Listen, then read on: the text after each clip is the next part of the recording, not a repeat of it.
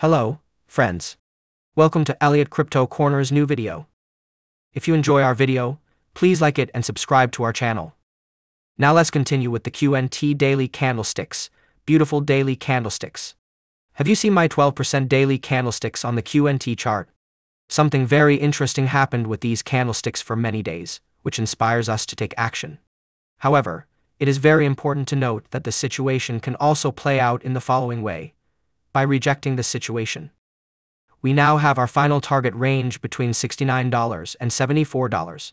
If we reject the box that ranges from $13 to $107, it is highly likely that tea will drop to around $71, which can be seen as a challenging level in the best cases.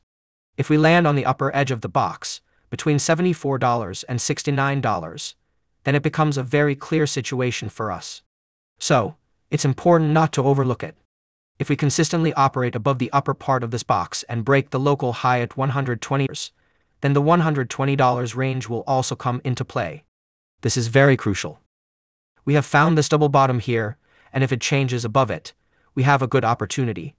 If we reject it, it becomes a very clear situation, and we will establish our position for a long time.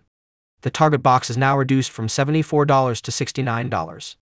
We believe this is a very good price, and it is more important for us to establish our credibility and trust in our thoughts.